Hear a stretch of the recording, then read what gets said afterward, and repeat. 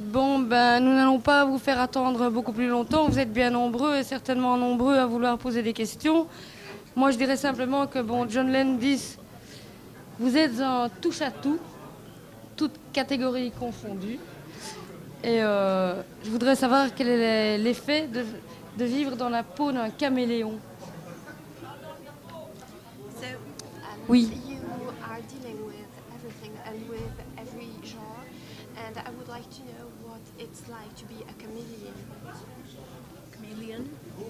Chameleon? and a chameleon. A chameleon. A chameleon. Chameleon. How the fuck do I answer that? Um, I have no idea how to answer that question. I'm not sure I understand the question. Vous faites, euh, vous passez de l'horreur à la comédie, du fantastique. euh, vous êtes un, un vrai It's, a, touche-à-tout. it's all kinds of genres. Yeah. So, Well, the intention is to make something fantastic real, realistic. So uh, the fantasy itself is funny. It- do you know, in English, there's an expression when people say, there's something funny about that guy. There's something funny about that guy. What it means is not necessarily funny, ha ha ha ha. It means something special different. odd, peculiar. And I think the fantastic is funny. Euh, en fait, ce que je pense, c'est que le fantastique est assez proche du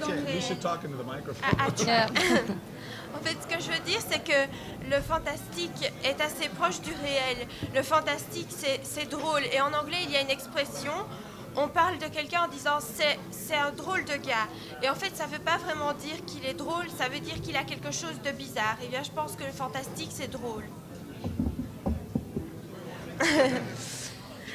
Voilà, et puis euh, comme vous êtes très nombreux, je crois que le micro va se balader. Le monsieur baladeur est là, alors euh, les questions sont les bienvenues. Voilà, il suffit de lever le doigt, comme à l'école. You should tell this uh, Yeah. young woman on my left is Leslie Bellsberg, the producer of the movie. La personne est la productrice. Monsieur Landis, euh, il y a une question qui me qui m'inquiète. Vous avez fait des films aussi différents que. Tu veux parler aussi plus fort? Vous avez fait des films aussi différents que Le Loup-garou de Londres. Et à un autre bout, je mettrais euh, Hamburger Film Sandwich. Alors, Le Loup-garou de Londres, tout le monde le sait, c'est un énorme succès.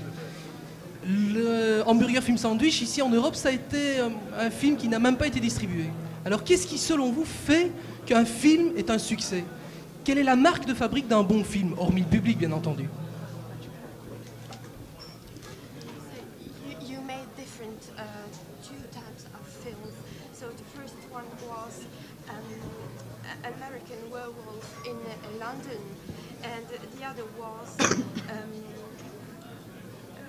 Hamburger Film Sandwich.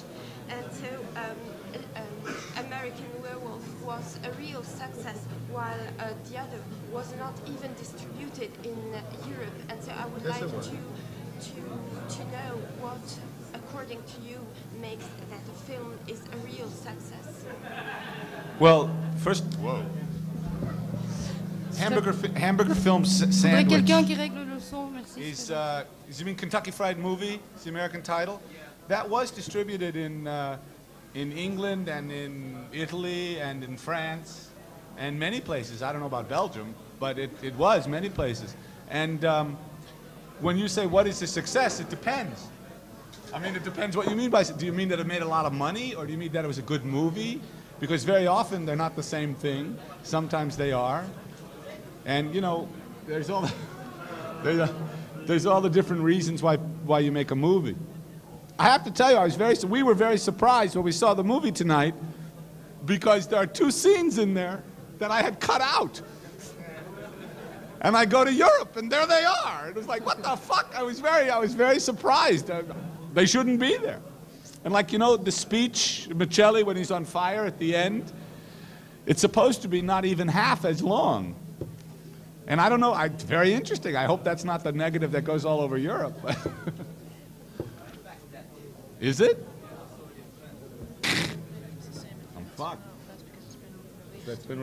Tout d'abord, ce que je voudrais dire, c'est que American Film Sandwich a effectivement été distribué en Europe, notamment en Italie et en France, peut-être pas en Belgique, je ne sais pas. En tout cas, euh, en ce qui concerne le succès d'un film, tout dépend de ce que vous voulez dire par le mot succès. Si vous voulez dire que ça signifie faire euh, beaucoup réaliser beaucoup de profits grâce à lui, ou bien si c'est un film de très bonne qualité. En fait, parfois les deux ne sont pas synonymes. Il y a différentes raisons qui existent pour faire un film, effectivement. Et ce que je veux dire aussi, c'est que j'ai été très surpris de voir le film aujourd'hui, parce qu'il y a dans ce film que nous avons vu deux scènes que j'avais coupées au début. Et, et- et ici, on les voit. Et euh, notamment la, la- la scène à la fin avec le feu. Et je ne sais pas si c'est si la même chose partout en Europe. I have, I have absolutely no idea if she's telling you the truth. Yeah, she does. Okay. Euh, autre question? Voilà. Um, I once saw an interview of yours in which you said that um, you found Robert Wise's movie The Haunting one of the most uh, fascinating horror movies you've ever seen. And um, that's a very serious movie. And now most of the horror filmmakers, including yourself, tend to mix uh, horror with humor, with the, the comic side. Um, why do you Have think that is? Have you met Robert Wise? No, I haven't. He's not a very funny guy. He's a very serious guy. No, but the question is, why do so many horror filmmakers mix horror with humor? Euh, can we pause this in French? Donc Go la question est de savoir pourquoi euh, beaucoup de réalisateurs mêlent le- l'horreur avec le comique. I can't speak for other filmmakers.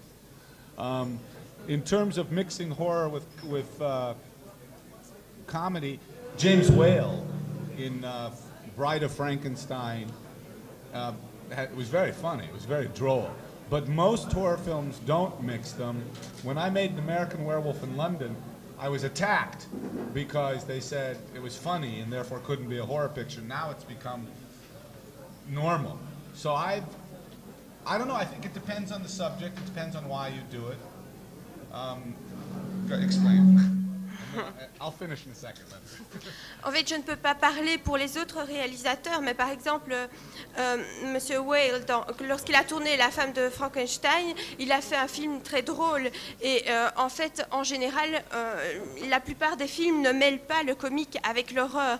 Et notamment à Londres, on m'a beaucoup attaqué parce que j'avais fait un film euh, comique et à la fois un film fantastique. Et c'est pourquoi on m'a reproché ça. On m'a dit que ce pas, ça ne pouvait pas être fantastique puisque c'était drôle. Et donc, ça dépend de ce qu'on veut faire. But the uh, I can tell you why I did it in American Werewolf because I was trying to make in uh, in Werewolf and in Innocent Blood also I'm trying to take something fantastic, a werewolf, a vampire, and make it realistic and contemporary. En fait, je peux, pas- euh, je peux vous expliquer pourquoi moi je l'ai fait. En fait, dans le film Euh, du euh, loup-garou, j'ai mêlé le fantastique et le comique. And if everyone in this room, what's the new theater, the cinema complex, is huge, biggest one in the world? Kannapolis, okay. If you went with a friend to see a movie at Kannapolis, okay, you come out of the movie, it's very crowded, you're having a good time, and you see a man, he's six foot two, he has white makeup on his face, purple lips, and he's got a cape, and he comes up to you and he says, I want to drink your blood. That's right, you would laugh. And now you're on your back, and he's tearing your throat out with his teeth, and you're in pain and you're dead. But not once in the whole sequence of events, from the time you see him to the time you're dead, would you even consider the supernatural. You would laugh at it. That's the educated and sophisticated person's response, is to go, ha ha ha, or ha like that. It is, uh, that's what happened. En fait, si vous allez par exemple à Kinépolis et que vous sortez de la salle de cinéma et que vous voyez un homme maquillé en blanc avec des lèvres rouges qui porte une cape et qui vous dit Je vais boire ton sang. Eh bien, la réaction qu'on va voir immédiatement, c'est de rire. Mais par contre, s'il se trouve derrière vous, qu'il vous, mord, qu'il vous mord et que vous mourrez, eh bien, entre le temps où vous avez ri et le temps où vous, vous êtes mort, vous n'aurez même pas une seconde supposé que le surnaturel peut exister. Et c'est tout à fait la réponse d'une personne raisonnable, c'est-à-dire de rire ou franchement ou de rire jaune. Does that make sense? No. Um, Mr. Landis, before uh, the moving Innocent Blood, we saw uh, the video clip uh, Thriller. That was 10 years, I suppose, before uh, Innocent Blood. I'm Yeah. Uh, is that a coincidence that uh, the same images we refined now in uh, this movie? The eyes, for example. I don't know. I think they had the same director. No, in fact, the eyes. Uh, this was a very shitty. Um, the projection here was is not very bright, and I, w- I was. I don't know if it's the print or the cinema, but I was disappointed when I saw the eyes here because they should be quite brilliant and quite bright. But um, in Thriller, Michael is wearing what's called scleral lenses, traditional lenses, and in Innocent Blood, they're wearing scleral lenses, but with Scotch Bright inside. So in the scene when Anne's eyes are changing color, that's actually happening on the set. So it's the technology different, but the idea is the same.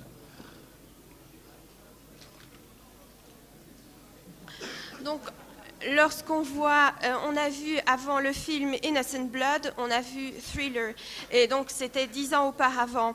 Alors la question était de savoir si c'était une coïncidence le fait que l'on retrouve plus ou moins les mêmes images, notamment les yeux.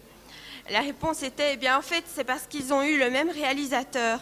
Mais ici, euh, j'ai été très déçue par les, par, les, par les yeux, parce que la projection n'était pas, n'était pas très claire et le résultat était assez décevant. Parce que dans Thriller, Michael Jackson porte des lentilles, alors que pour le film Innocent Blood, on a eu recours à un autre système et les yeux, normalement, doivent, chan- doivent changer de couleur et doivent être beaucoup plus brillants. Et donc, c'est une question, la différence est essentiellement un problème de technologie. A lot of uh, directors have the same. Oh, c'est comme vous voulez. Euh, je voulais dire, donc, il y y, a beaucoup de réalisateurs dont le film ont un seul et même nom de producteur, Steven Spielberg.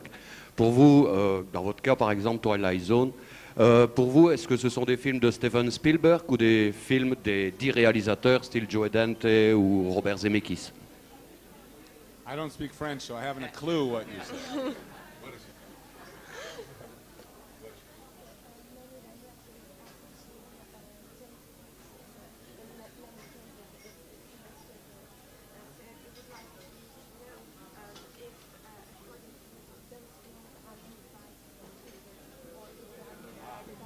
I understand. No, uh, Gremlins is made by Joe Dante. Back to the Future is made by Bob Zemeckis. Although Steve would like you to believe they were made by Steve Spielberg. Euh, en Europe, on a vu à peu près une vingtaine d'épisodes de Dream On. Est-ce que la série continue? Est-ce qu'on aura encore euh, d'autres épisodes distribués en Europe?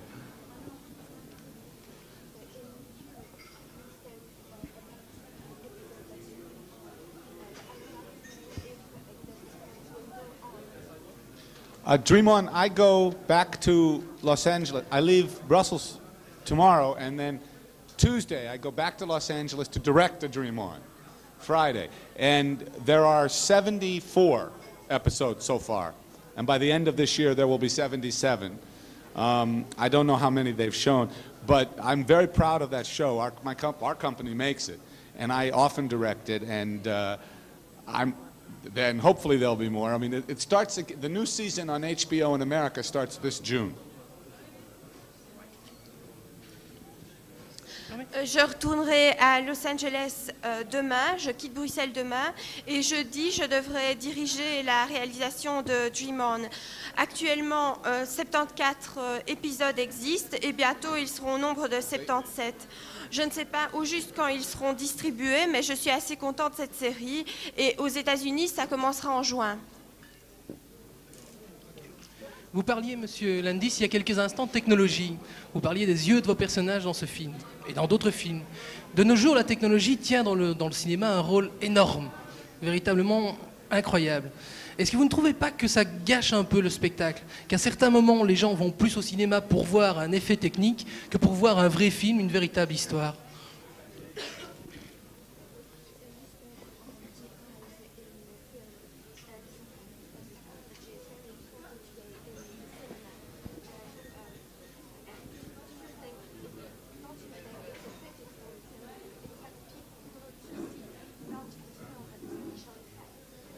um, well, first of all, special effects are only a tool.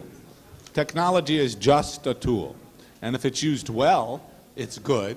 If it's not used well, who cares? And it's just a tool, it's not important. If it works, great. If it doesn't work, too bad. But a good example in movies, it's very actually this is true. If you look at movies made up in like in the 50s and 60s, very often, especially in fantasy films, you have well directed, well written, well acted films until you see the monster. And then the monster looks like shit. Or until you see the rocket ship. It's like, but up to there it was pretty good. Starting in like the early 70s, there's this whole new generation of films with these new special effects guys and stuff. And basically, what you get now are terrible movies with great special effects. you know, great monsters and great spaceships. But the reality is, uh, special effects don't make a movie. So it's only a tool. It's not something to be afraid of, and it's not something to be in love with. It's only to use. I mean, for instance, computer generated stuff, what they call morphing. When I did it with Michael Jackson in black or white, we did it because no one had seen it before. Well, now everybody's seen it, so who cares? You know? But Spielberg, in fact, in Jurassic Park, the dinosaurs, there are big models of dinosaurs, but for all the shots where they're running, it's all computer generated. And it's a, it's a miracle. You won't believe what you're seeing. It's amazing. Bien, tout d'abord, ce que je voudrais dire, c'est que les effets spéciaux, la technologie, etc., ce ne sont que des outils. Et s'ils fonctionnent bien, eh bien, tant mieux, sinon, dommage. Et euh, je vais donner quelques exemples. En fait, les films dans les années 70 et au début des années 80 étaient... euh, étaient euh, terribles. Ils étaient bien réalisés, il y avait de bons acteurs, un bon scénario, et tout allait très bien jusqu'à ce qu'on voit le monstre qui était vraiment ridicule, ou qu'on voit le vaisseau spatial qui était très chaotique, etc.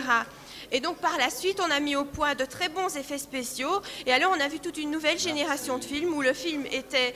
euh, euh, absolument euh, horrible, mais où les effets spéciaux étaient vraiment merveilleux. Et donc, en fait, le, problème, ça dépend essentiellement de l'utilisation qu'on fait des effets spéciaux et de la technologie. Et notamment, actuellement, on utilise beaucoup d'ordinateurs pour les prises de vue, notamment Spielberg, pour, pour qui toutes les prises de vue sont réalisées par ordinateur.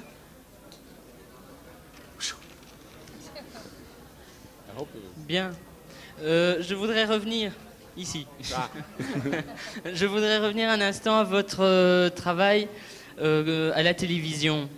Euh, une, euh, un feuilleton comme Dream On est- fait figure d'exception dans ce qui se fait aux États-Unis en matière de, de sitcom. Euh, comme c'est une exception, j'aimerais connaître votre avis sur l'avenir de, de la télévision aux États-Unis au niveau de la fiction.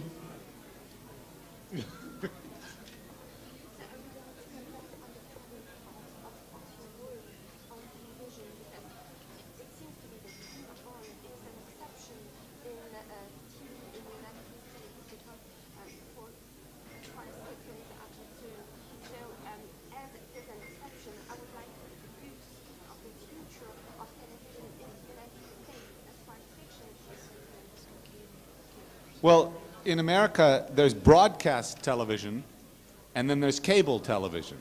Dream On is on HBO, which is cable television, which means I have total freedom.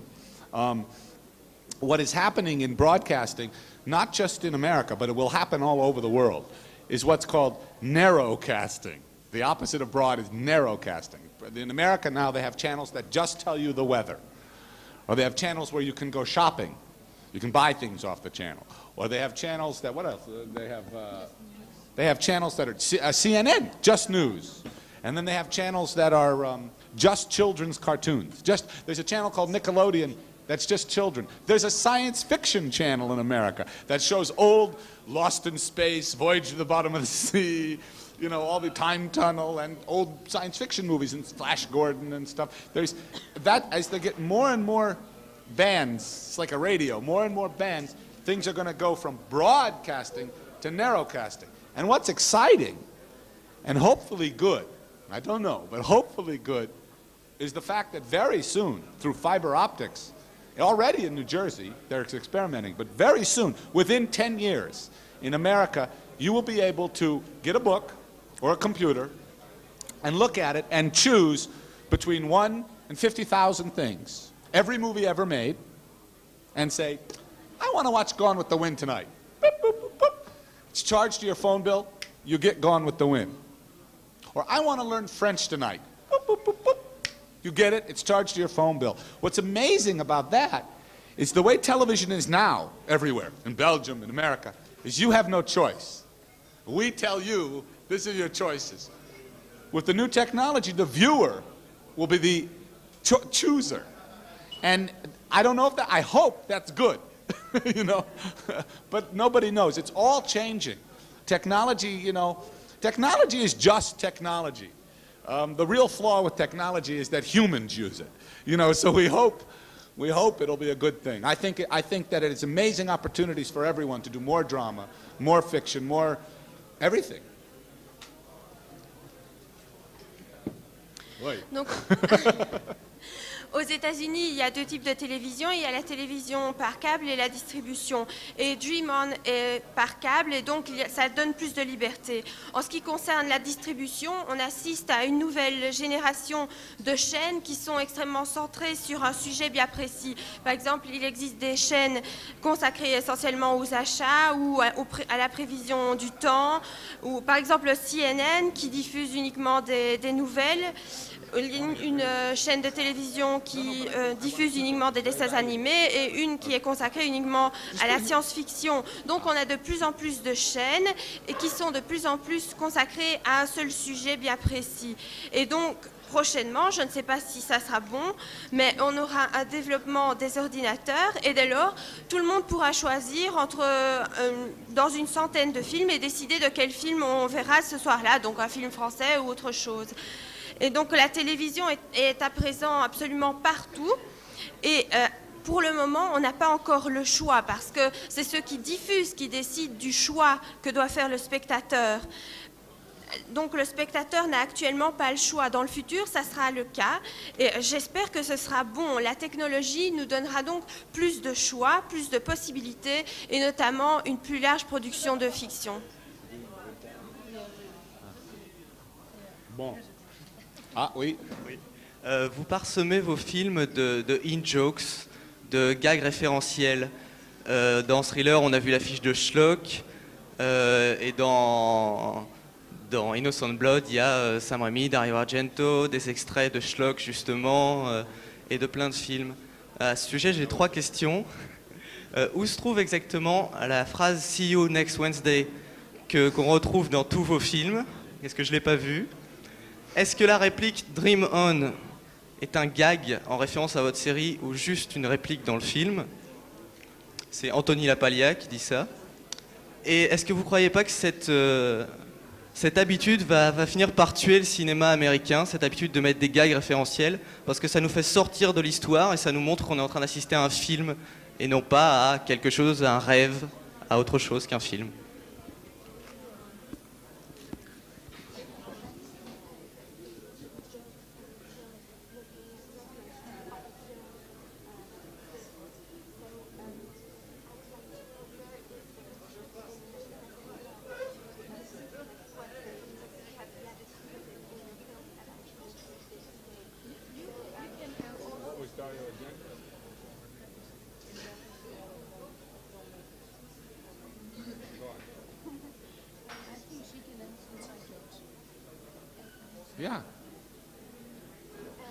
Just a minute.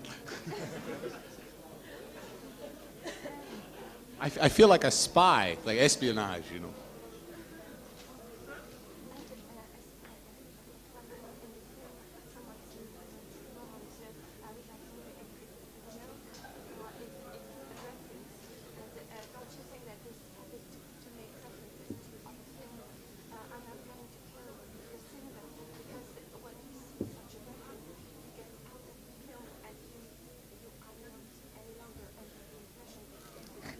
Okay, um, that's four questions. Uh, the, the, the first question about See You Next Wednesday. See You Next Wednesday is in the film on a marquee. It is not in all my films. No, it is not in all my films. It is only in the films. In, this is a very boring story, okay? See You Next Wednesday is a screenplay that I wrote when I was 16 years old. It's a line of dialogue from 2001, the Stanley Kubrick film. It's a musical autobiography of me if I died when I was 16 years old. It's a terrible, immature, sophomoric, stupid script. It's about 3,000 pages. Every time I cannibalize it, every time I steal an idea or a joke or a line from See You Next Wednesday, I give it credit. It's not very mysterious, it's not very interesting, it's not in all the movies at all. So that, that's the first question. Okay, answer that. then I'll answer the other. Bon, d'abord la première question qui concernait See You Next Wednesday. Wednesday. Euh, en fait, c'est un film qui n'était qui n'était pas très bon, qui est, que je- dont j'ai écrit le scénario lorsque j'avais 16 ans. Et euh, je trouve ça absolument terrible. Et dès que j'ai l'occasion de placer une, une blague à ce sujet, je, je- je le fais. En fait, ce n'est pas, pas du tout injuste. Um, as for Dario Argento, he speaks very well of you, you know. But anyway, but the uh, as for Dario Argento, in every movie I've ever made, there are directors. I have always done that. It is not important. No one in the world, except people in this theater, would know Dario Argento. Would go, ooh, Sam Raimi. That doesn't happen. I've had well over 150 directors in my movies.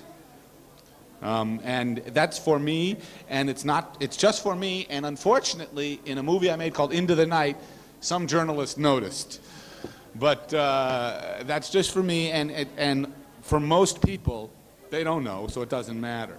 In terms of cinematic references, that's interesting. They, um, I think that, uh, well, I think all paintings make reference to other paintings.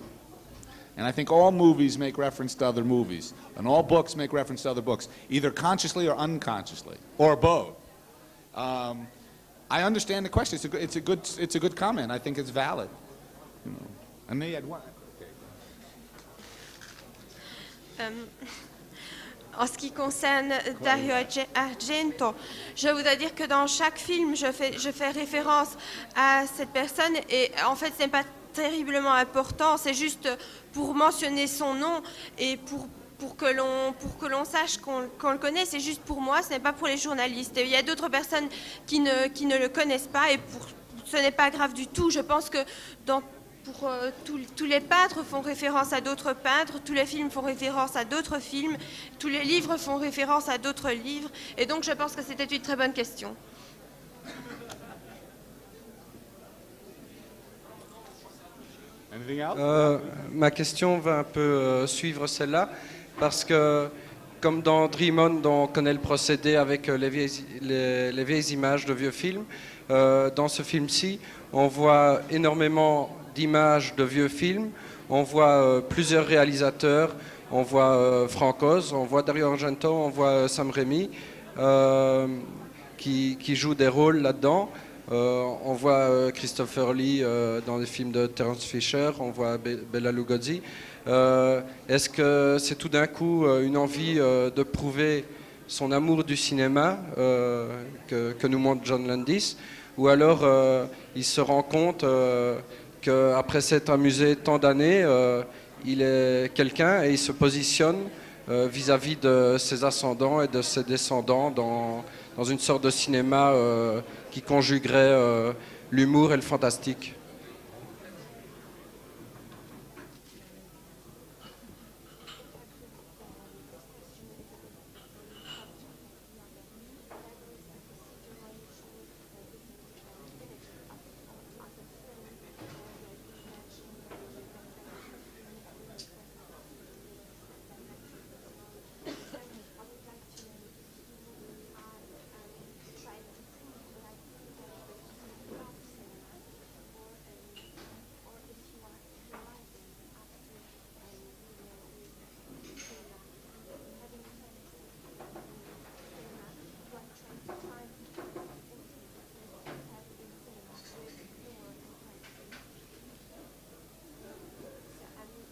I don't know. What do you think? Qu'est-ce que vous en pensez?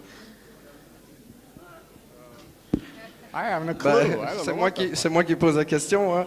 Euh, je sais pas. c'est- Je- Yes, and it's me who asked the question. Je, je- je crois que, que vous êtes quelqu'un euh, d'heureux heureux de faire ce que vous faites et, euh, et que vous voulez le crier, je sais pas.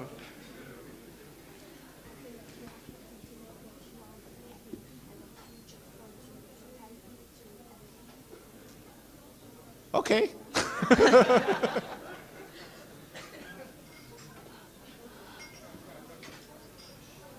oui. Donc, euh, Monsieur Lendis, on, on a dit tout à l'heure que vous étiez un homme d'une grande diversité d'aspirations. Euh, alors, la question qui me vient tout naturellement à l'esprit, c'est de savoir comment choisissez-vous vos sujets? Qu'est-ce qui, pour vous, fait un bon sujet de film que vous avez envie de tourner?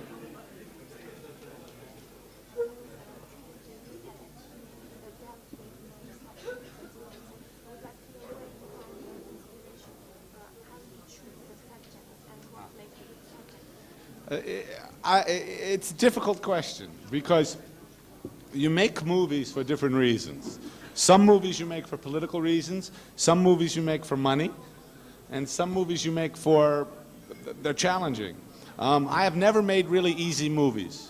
I've only made one easy movie. That was Spies Like Us was an easy movie. Um, other than that, I have always not. Schlock was very hard. Boy, that, do you know what a short end is? No? I, will tell you later. It's very interesting about. No, but um, the, you choose projects for different reasons. And for instance, I have always taken great risk with my with my films. What happens is when a film is very commercially successful, people forget that it was a risk.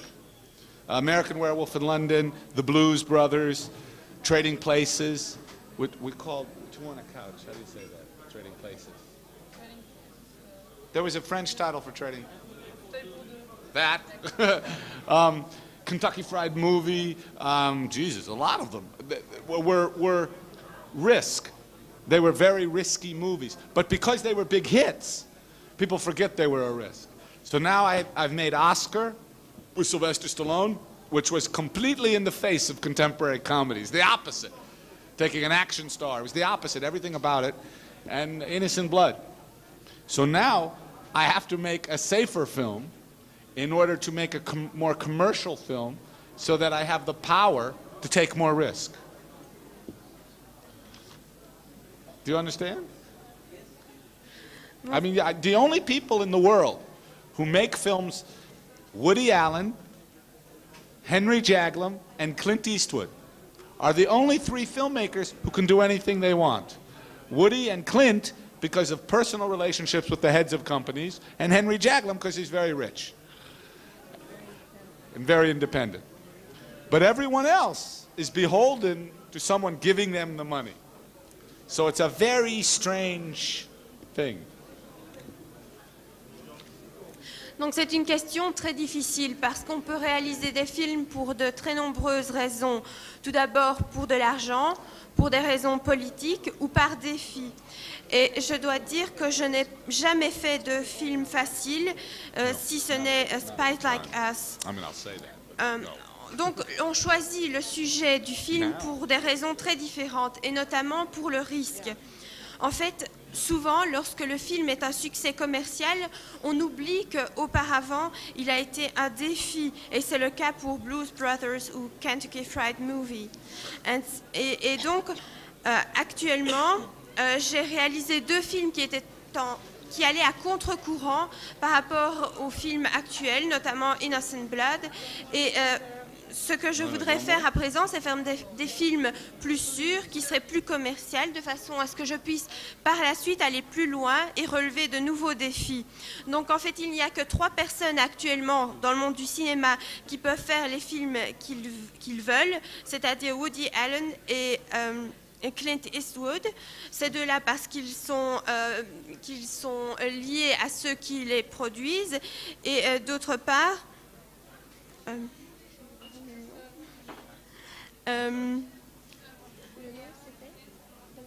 Henry, Henry. Henry parce qu'il est riche et donc il est indépendant.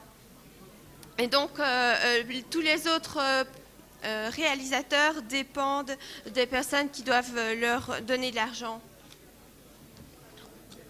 Did that, did that answer your question or not? Est-ce que j'ai répondu à votre question? I think so. He's on to a different conversation. Did that answer your question? Et Oui, plus ou moins. Disons que je pourrais compléter ma question alors en vous demandant qu'est-ce qui vous donne envie de prendre des risques?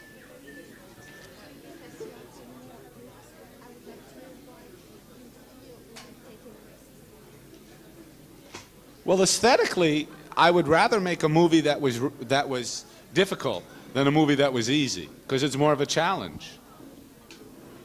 You know, by by risk, I mean subject matter. I mean, you know, when you want to make a lot of money, you don't say, "Gee, let's make a movie about a woman who rips people's throats out and make her the hero." You know, it, it- it- you know, you know. I mean, for instance, in the Blues Brothers, we did something that I still am amazed at, which is the most important part of an actor, especially in film, are their eyes. So we said, let's put dark glasses on them. You know, it's insane. It worked, but it, but it's insane. You know, those are risks you take.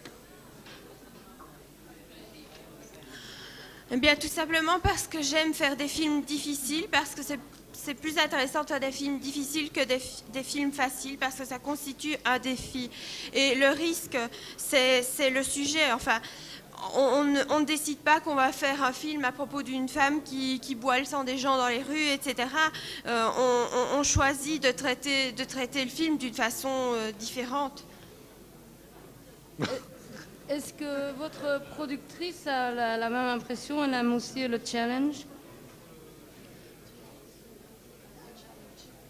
Um, my challenges are different than John's um, because when he makes a decision to do something, I'm the one that has to make it happen.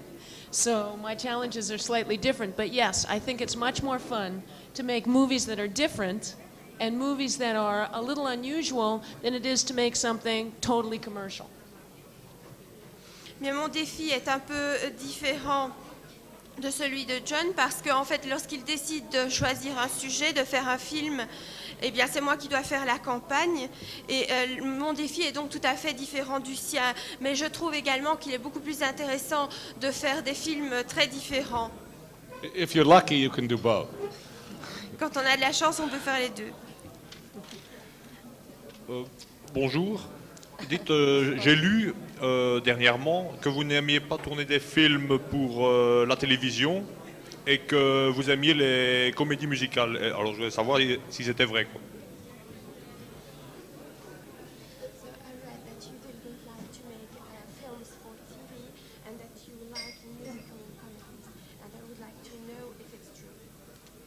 It is true that I like musical comedies. I, I think Singing in the Rain is a perfect movie. Um, and I would like to make musical comedies. And whenever I can, you'll always see a dance number for no reason in the movie.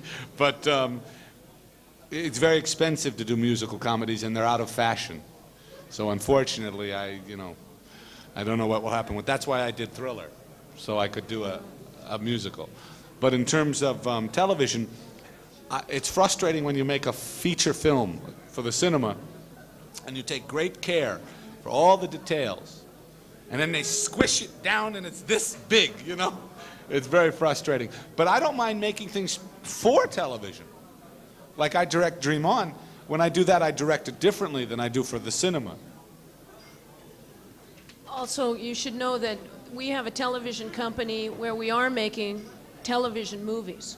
So they're made specifically for that purpose. Eh c'est parfaitement exact de dire que j'aime les comédies musicales et notamment Singing in the Rain. Donc, j'en voudrais bien faire pouvoir faire des comédies musicales. Et euh, dès que, c'est possible, j'inclus des, des- des parties de danse dans mes films. Mais ça coûte assez cher et c'est en général démodé. C'est pourquoi j'ai réalisé Thriller. Euh, le problème avec la télévision, c'est qu'on réalise des films, des longs métrages pour le cinéma et on y met beaucoup de soins, etc. Et ensuite, pour les faire entrer dans la télévision, ils les compressent, ils les compriment et je trouve ça extrêmement dommage. Mais par contre, je n'ai rien contre le fait de réaliser des films expressément pour la télévision. Parce que vous devez savoir que nous avons une compagnie de télévision et on produit des films exclusivement pour la télévision. That make sense? okay. Oui, j'aimerais You savoir. already asked a question.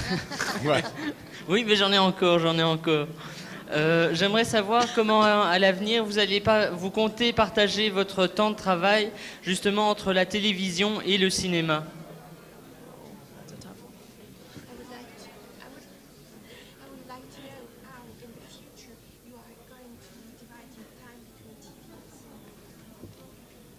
I would rather make movies than television.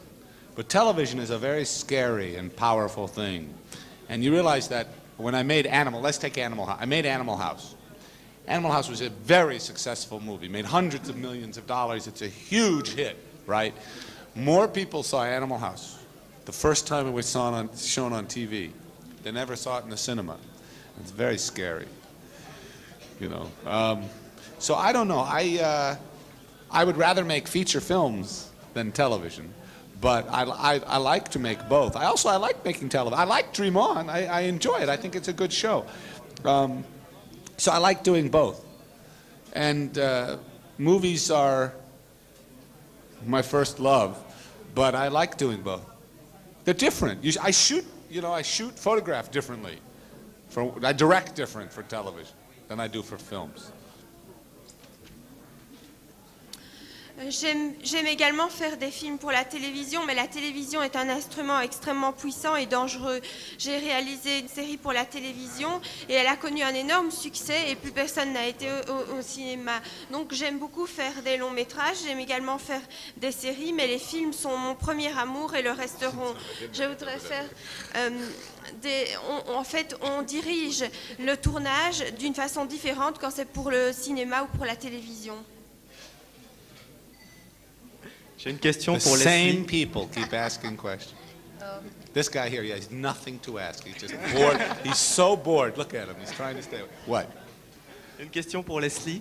J'aimerais savoir si elle pense que maintenant le public américain est prêt à accepter une actrice étrangère euh, comme star d'un film américain.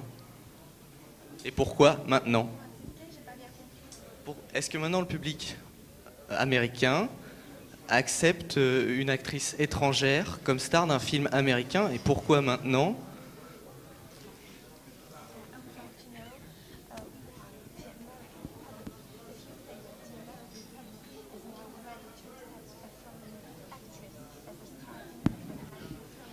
Do you mean like Marlena Dietrich or Greta Garbo, I'm thinking Garbo right away. or maybe Charles Boyer or s- or Vivian Lee? Do you mean the American public now? You mean like Catherine Deneuve or Jean Moreau? Of course. Of course. Uh, Yeah, I also think that the more we see, you know, now in America also, well, that's not fair. I, I think that people go to go to the movies and see actors that they like. People knew about Nikita and they like Anne Pario. Um, it's like that. I mean, people knew about Juliette Binoche and she's in Damage, and people go to see her in that. I think that um, that we talked about this earlier, just amongst us, but the world is getting smaller and smaller and smaller because of television and because of movies and because of travel and um, because of CNN. So uh, what's happened is that people know more foreign film stars and um, people know more foreign films in America. And I also think that good actors work. I, I think that's very important. I'll add something once you tran- translate that. Please. Je pense qu'on voit de plus en plus de, de monde, que de plus en plus de gens vont au cinéma et euh, ils voient des actrices et euh, si elles leur plaisent, ils continuent à aller voir les films dans lesquels elles tournent. Donc notamment, ils ont été voir Nikita avec Anne Pario, Juliette Binoche dans Dam- Damage et ils continuent à aller, aller les voir.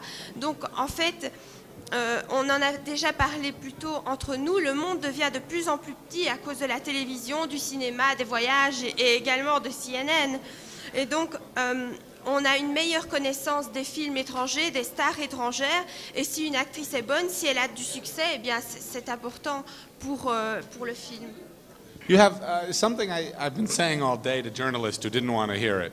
But the, uh, the reality is that Hollywood has always been international. And when they say it's American films or American, you look at the big American films are directed by people like Paul Verhoeven or Ridley Scott or Louis Malle or Costa Gavras. You know, I mean, think about it. Who are the big big stars right now? Americans, Americans like Harrison Ford and Arnold Schwarzenegger and Jean-Claude Van Damme. Americans, you know, the entire industry has always been international. Hollywood has always been international. They talk about the great Hollywood directors. They talk about John Ford. They talk about the great American Alfred Hitchcock, the great American Ernst Lubitsch, the great American Billy Wilder. You know, it has always been an international business. It's true. They don't want to admit it. They're very provincial, you know. But the truth is, Hollywood has always been international. It is not new. It is always. And again, I'm serious about Greta Garbo. Will they take a foreign star? No. Garbo, pfft, no one liked her. She's the biggest star in the world, you know. Donc euh, je voudrais ajouter quelque chose en ce qui concerne euh, ce- cette question, c'est que Hollywood a toujours été euh, international et donc les, films américains les plus importants ont été faits par Harrison Ford par exemple, et puis on voit Jean-Claude Van Damme, etc. On parle toujours de- du grand américain Alfred Hitchcock et donc on voit très bien que le que le cinéma a toujours été international et ça les gens, les Américains ne veulent pas l'admettre parce qu'ils sont très assez chauvins et donc euh, mais ce phénomène n'est pas nouveau, le cinéma a toujours été international. Yeah, people don't like hearing that. People, people want to, don't want to accept that, but it's always been true. The film industry was founded by Europeans, Polish and Russian Jews. It's always been, America is a nation of immigrants. And, and it- it's always been international, always. Euh, donc les gens ne veulent pas admettre que la source a été l'Europe et que euh, notamment beaucoup de, de- de personnes qui réalisent les, films sont d'origine polonaise ou juive et, et les États-Unis sont un pays qui est- sont un pays qui a été constitué par l'immigration. Voilà, on Anything va- else? Oui, on va passer à la dernière question pour la soirée. Et vous rappeler que il y aura Voilà. des autographes euh, après. Ouais, c'est c'est la dernière et c'est ma dernière. Oh là. Euh, en un peu plus d'un siècle, le cinéma nous a régalé de milliers d'histoires, parfois toutes originales. Et depuis, depuis une dizaine d'années, on voit énormément de films qui sont des suites, qui sont des séquelles, qui sont, euh, qui sont pas toujours bons en plus. Et la question est celle-ci. Est-ce que vous ne trouvez pas qu'il est grave, primo, de ne plus avoir rien de neuf sur nos écrans, que ce c'est une crise, une crise très grave de ne plus inventer de nouveaux scénarios Et deux, est-ce qu'il n'est pas un peu facile de la part des producteurs euh, de faire confiance uniquement à des choses qui ne sont pas toujours originales, qui ne sont que des facilités de suite? Voilà. We. I have no idea what he said.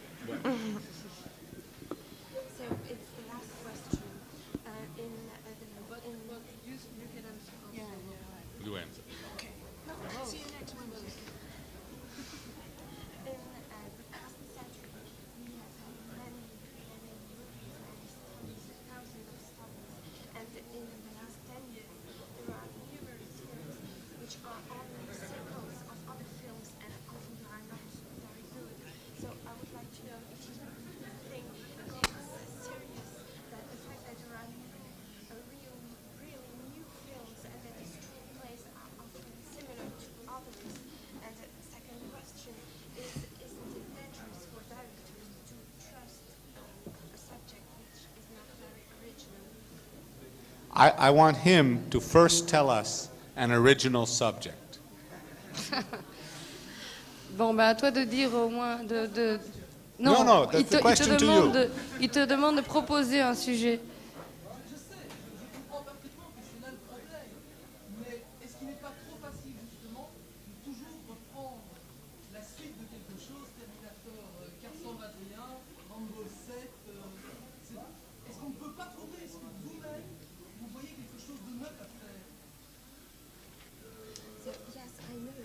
Difficult to find something new, and I understand it's difficult, but I would like to know if you don't think it's a bit easy to take wrote similar screenplays, for example, Terminator 421 and so on. And um, I would like to know if you are not able to find new ideas and so on. What sequel did I make? Donc je, je n'ai fait aucune suite.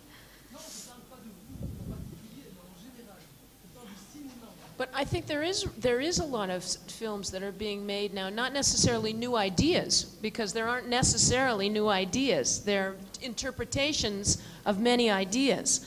But The Crying Game, for example, is a movie that's been made that's different. Enchanted April is different. No, Enchanted April's the same. But um, um, Crying smaller different. Crying Game is different, and um, um, there are many different movies being made today. That I mean, there may be seven or eight good ideas, but it's how they're made and how they're interpreted that that really works. And um, I don't think there's anything wrong with that. Um, that the fact is that that that that that. Uh, um, that, that people take an idea and try and interpret it in their own vision and their own dream, I think that's very important. That Did they you- not try and necessarily find something original all the time. And sequels are an entirely different subject because that's not the same as the fact that there's no original ideas. That's a separate subject entirely.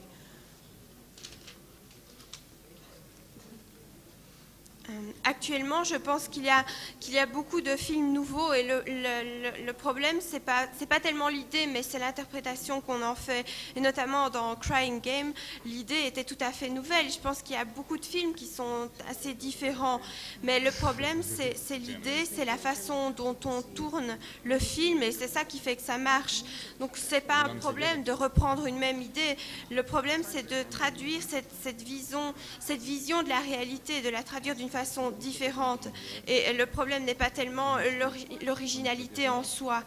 Euh, par contre, euh, les suites, c'est un problème tout à fait différent parce que euh, ici, euh, ce, ce n'est pas un problème d'idée qui n'est pas originale. One of the one of the things there's there's two issues. One is about originality. There is no originality. There is only different perspective. Um, for instance, the western. One of the things I love about westerns is they're like opera. There's there's a form and it's a way to see many things. The western was considered dead because of television. There was at one time in the 50s in the United States and in Europe where every program on television was a western. It was dead. It was over until a guy named Sergio Leone brought a different, different perspective to the Western. Um, it was dead again. After the spaghetti boom, all these Westerns, it was dead. Clint Eastwood just made The Unforgiven. It's a wonderful movie. I don't know if you saw it, but it's, it's the Western's back, you know? And it just is a question of, it's, it, it, okay, in terms of sequels, sequels is a difficult problem because a sequel, the people who, who put up the money for movies put it up not because they are patrons of the arts. They put it up to make money. And when a film is hugely successful, they are fairly certain they can make money by doing the same film again. Home Alone 2 is a remake of Home Alone 1 and more successful. Alien 2 is louder and more spectacular. No, not Alien. Terminator 2 is louder and more spectacular than Terminator 1, but it's the same. It's Arnold Schwarzenegger walking around killing people. It- it- what, what's amazing is when you get Alien is a good example. What Jim Cameron did in Aliens was very clever. He said, well, the first movie was a monster in an old dark house, so I'll make a war movie. And he changed it, and it was a very good idea. Um, I'm not against sequels, the idea of sequels. I mean, the, the whole thing is James Bond films are just sequels, serials. Um, television series are just sequels, you know. Uh, the problem is to come up with a good sequel, and you're right. I mean, usually they're, they're not as imaginative. But the people who give money to make films are interested in making money, and the audience is the ultimate decider. It's pretty depressing, but true.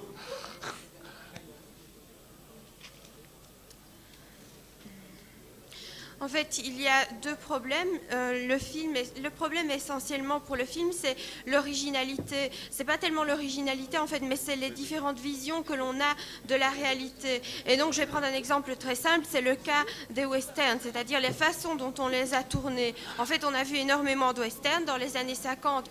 Pratiquement tous les films qui passaient à la télévision étaient des westerns et c'était tous les mêmes jusqu'au moment où Sergio Leone a introduit une autre façon de voir le western. Il a introduit les western spaghetti.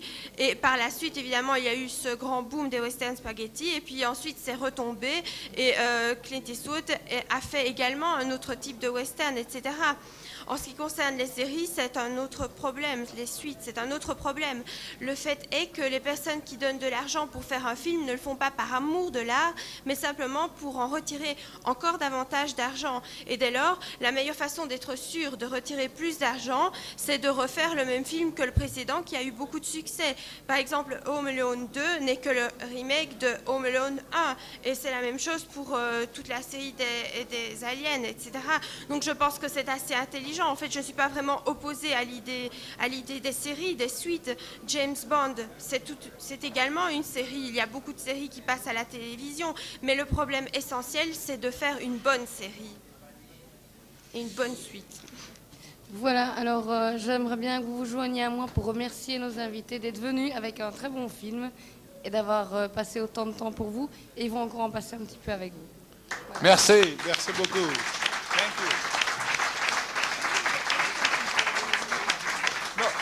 Yes we do. So now what do I do? I sign? Yeah. Okay. Now's the time if you want me to sign something.